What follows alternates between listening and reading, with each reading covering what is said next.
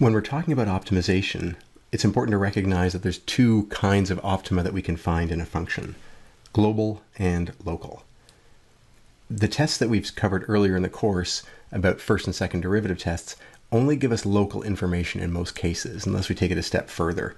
And the idea is we know that a point is a minimum relative to the points nearby, but that doesn't tell us whether there might be another minimum somewhere else that's even lower. The first and second derivative tests just say around this point that you found, it is the lowest point amongst its neighbors. So that's an important condition or limitation of the local analysis.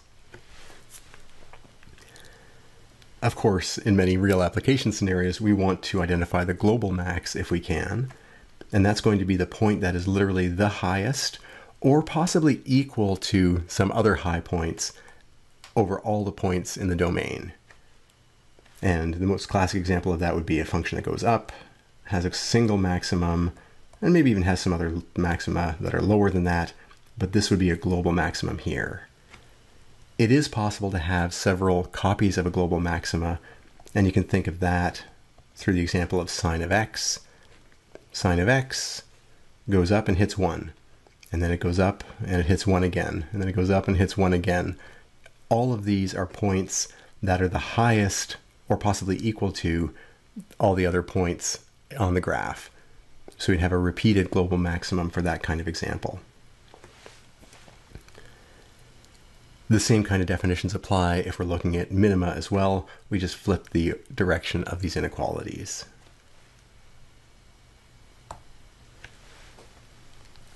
Let's see if we can compare and contrast those a bit.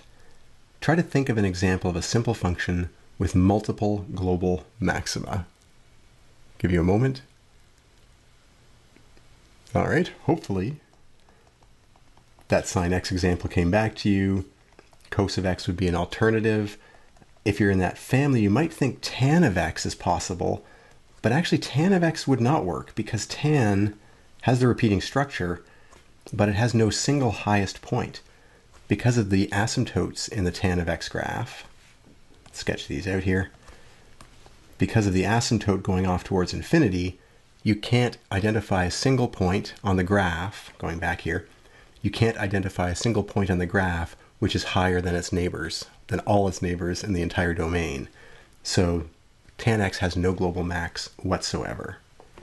Sine and cosine, though, both would have that global max repeated.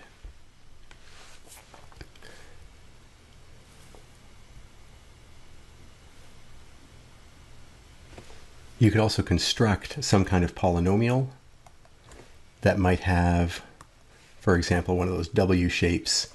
Uh, we're looking for maxima, so it might have a double bend here, and just by coincidence, those two maxima might be at exactly the same height. That doesn't happen as often, but it's certainly something that we could construct if we wanted to.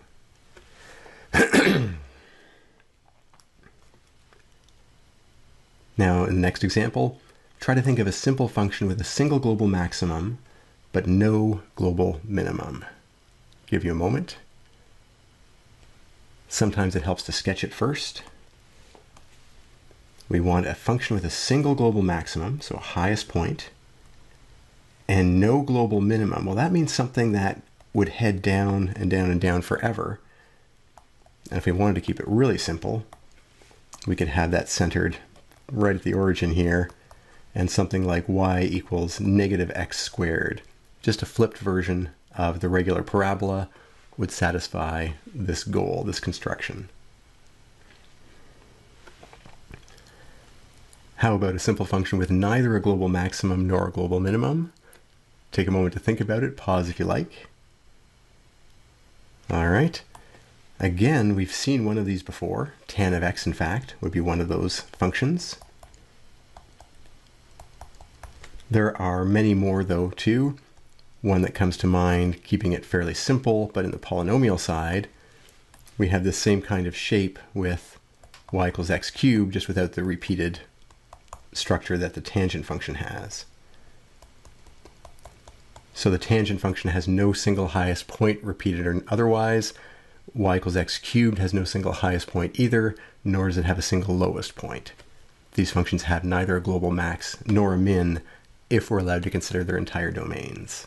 Earlier in the notes, we worked with this function here, and we found that this had critical points at x equals 1, and that gave a y equals 8 value when we plugged it in, and a second critical point at x equals 2, which corresponded to y equals 7. Now, if we did a quick sketch of the entire graph of that function, which we did earlier, we could tell you that the graph goes up and then down, then back up again.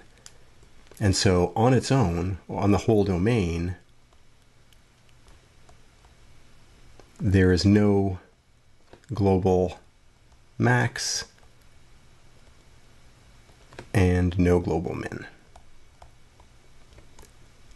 It has local peaks, absolutely. This is a local maximum, this is a local minimum, but there's no global extrema because the function can go higher than any point you pick, and the function can also go lower than any point you pick just by moving out further. So how can we make this interesting from a global maxima perspective? If we limit the domain, all of a sudden things get more interesting. We know our critical points occur at x equals 1 and x equals 2. If we enforce an artificial boundary on that function and limit ourselves to the study of x equals 0 up to x equals 2.5, then we know a few things like the height of the two critical points. Bring that down. And we can detect whether, well, we can detect what the height is on this next part. And if we knew what happened at x equals 0, well, f of 0 we can calculate. It'll be 0, 0, 0, 0 plus 3. In fact, we can improve this sketch dramatically and know that this curve bends down and reaches 3. We can also tell what the value at 2.5 is at the other extreme of the interval we've selected. And if we plug that into our calculations here, we actually end up with exactly the value 8 again. So, in this scenario, what can we say about this function limited to this domain? That's an important piece of information to include in any statement. But on the domain 0 to 2.5, x equals, looking for the global minimum, x equals 0 is the global minimum. And we actually have a tie, x equals 1 and x equals 2.5, tie for the global max. Now we can get more specific here. This is at y equals 3, and the global maxes both occur at y equals 8.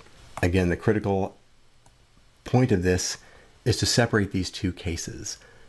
If we have the whole domain to play with, this function can go up as high as it wants. It can also go as low as it wants.